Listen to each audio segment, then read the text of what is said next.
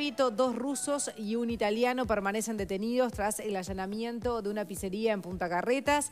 Eh, Italian Style, así se llama, es eh, en pleno Punta Carretas. Los tres son investigados porque podrían haber ocultado al mafioso italiano Rocco Morábito, participado de esa fuga que se dio el pasado 24 de junio o tener información del paradero. En Solano, García y Miñones, allí están viendo las imágenes, está este restaurante donde allí ven además la bandera italiana junto con el uruguaya.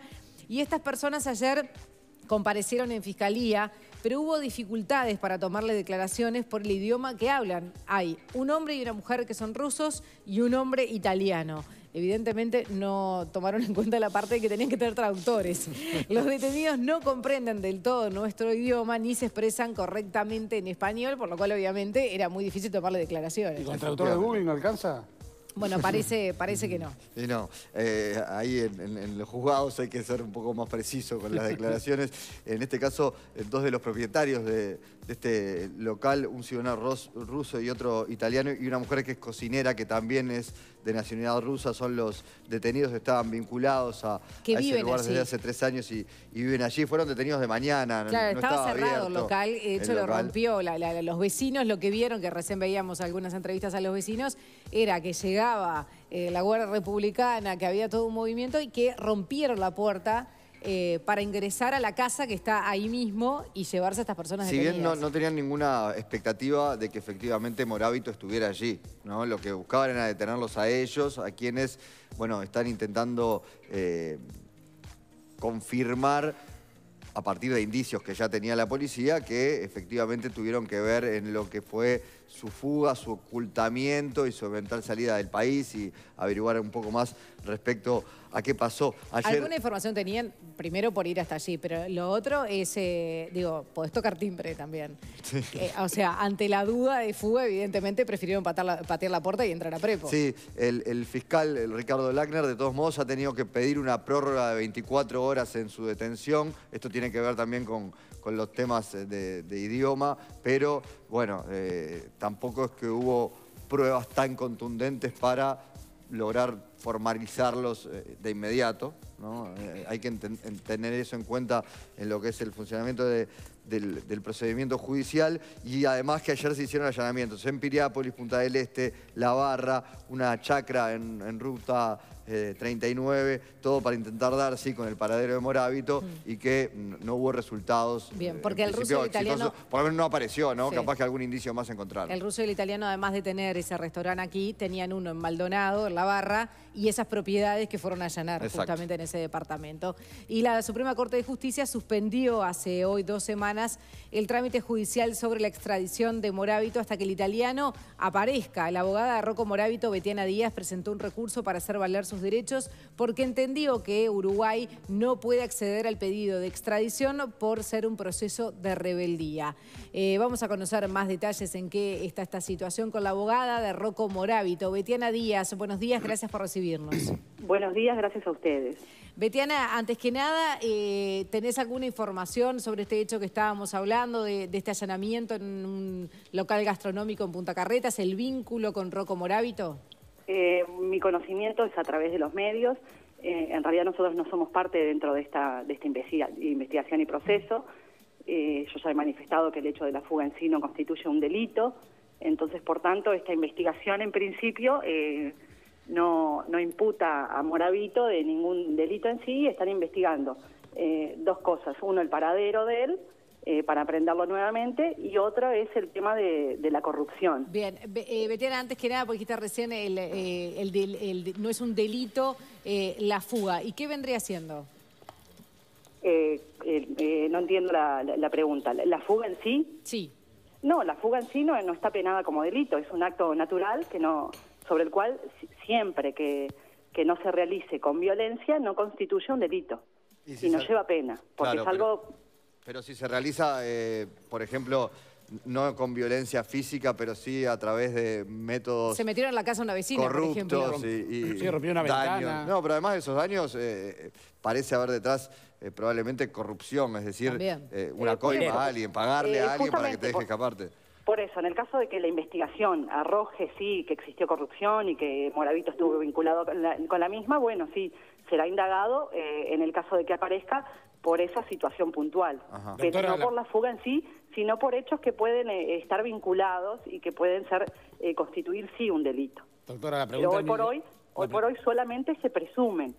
O sea, se presume la existencia de esa corrupción, pero no, no, no hay hechos que, la, que determinen en sí que existió. Sí. La pregunta del millón aquí es el, el paradero, ¿no? ¿Dónde, ¿Dónde se encuentra? Si está en el país, si no está en el país. Sí, Este, la, la verdad es que desconocemos eso. Justamente en el marco de esta investigación, eh, la semana pasada, el viernes de la semana pasada, acompañé a la, eh, a la señora eh, justamente al- a la fiscalía, donde estuvimos reunidos con, el, eh, con las autoridades de fiscalía y también de Interpol, a efectos de que la señora eh, manifestara, bueno, eh, cómo fue su último encuentro con, con Moravito.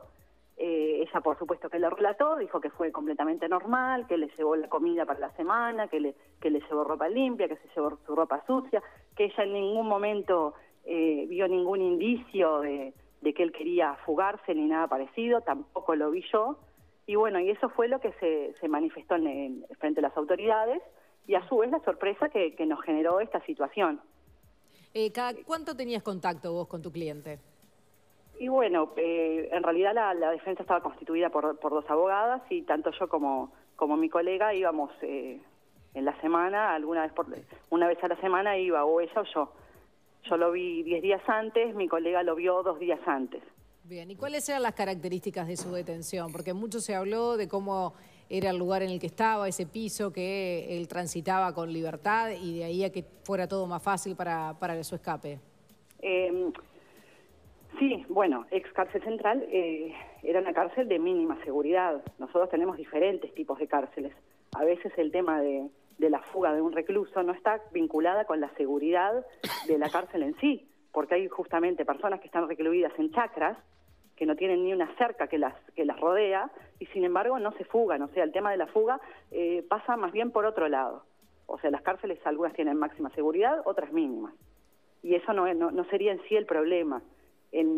Yo siempre siempre manifesté que en el caso de, de Moravito me pareció más que nada una, un aprovechamiento de una oportunidad eh, sumada al- a la desesperanza que tenía él en virtud del proceso. Porque nosotros a lo largo de la, del proceso, bueno, esta defensa y las defensas que, que él tuvo en forma anterior, eh, siempre tratamos de hacer valer el artículo 21 de la Constitución que establece la prohibición expresa de, la, de un juicio criminal en rebeldía, que fue justamente lo que hizo Italia, juzgarlo en rebeldía, y nosotros estábamos tratando de que se hiciera valer esa norma. Justamente ustedes eh, mencionaban anteriormente que la que hoy por hoy el proceso de extradición está suspendido. La Suprema Corte lo suspendió y justamente lo suspendió fundándose en dicho artículo. La propia Suprema Corte de Justicia dijo que el, juicio de extradición de Moravito quedaba en suspenso hasta que él apareciera en virtud de la prohibición expresa contenida en el artículo 21 de la Constitución.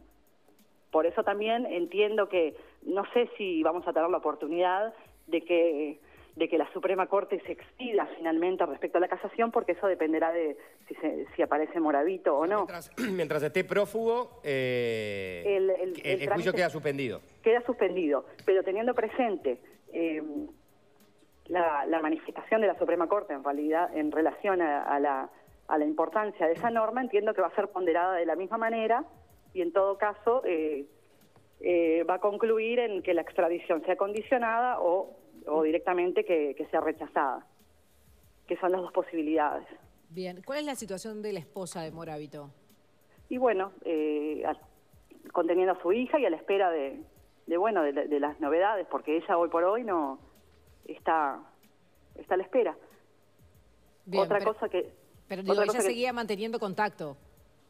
eh, sí, sí, hasta el último momento ella mantenía contacto básicamente por su hija, ella eh, la llevaba a visitar a su padre y sí, tenían contacto. Pero, ya les digo, después de la, de la fuga, obviamente, y es lógico, perdió todo contacto y ahora no, no. La verdad es que no sabemos nada. Otra cosa que les quería mencionar es eh, otro escenario en realidad de la historia esta, Sí, que es, la- es la situación de las... eh, de las demás personas que se encuentran en arresto administrativo. Claro, porque tú sos la abogada de uno de los otros tres que se fugó, se fugaron en ese mismo no, momento. No, de los que se fugaron. En, en cárcel central, eh, junto a Moravito, eh, habían arrestados administrativamente nueve personas más. En total eran diez. Hmm. Estas, estos, estas personas arrestadas administrativamente estaban esperando ser o no extraditadas, porque la solicitud de extradición no implica que la persona va a ser sí o sí extraditada. O sea, primero se hace un control de, regularidad y de requisitos y después podrán ser o no. En virtud de esa, de, esa duda y a su vez del hecho de que no cometían delito en el, país, hace que, eh, que estas personas deban estar recluidas en lugares que garanticen en mayor medida sus derechos. Sí, pero cuando te digo que se fugaron y me dijiste que no se fugaron, ¿qué fue lo que hicieron entonces? No, eh, no, no, yo te, lo que te quise decir es que yo no represento a uno de los que se fugó. Claro, son 10 ah, son diez y tú representás a uno de los que todavía siguen ahí. y estás denunciando la situación también en la que está detenido. Luego de la, de la fuga de, de, Rocco y los otros reclusos, eh, el Ministerio del Interior dispuso que, las, que estas personas fueran realojadas en cárcel de libertad.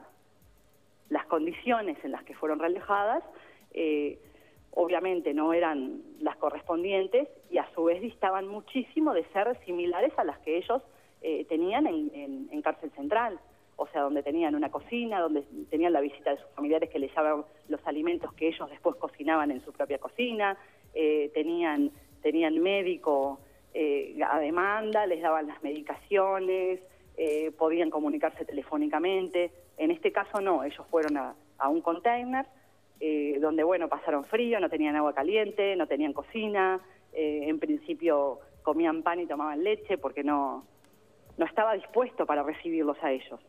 Esto se hizo medio, eh, medio tal vez de apuro y resultó de esta manera, lo cual motivó que la Vicente, junto con los demás, las demás defensas de los restantes arrestados administrativamente, presentáramos un habeas corpus, que justamente eh, a raíz del mismo se realizaron audiencias este sábado y este domingo, eh, y finalizó con una sentencia que, bueno, que, de alguna manera nos resultó favorable, donde la juez intimó al, Ministerio del Interior a reanudar las condiciones de estas personas. Pero que vuelvan, que vuelvan a, la ex cárcel central no que se o que se tomen medidas para este, en el penal de, libertad para que las condiciones sean similares a las que estaban anteriormente. Eh, eso mismo, porque en realidad volver a cárcel central en realidad eh, tampoco sería muy posible porque en, realidad hay muchos funcionarios que fueron sumariados, ya no cuentan con personal.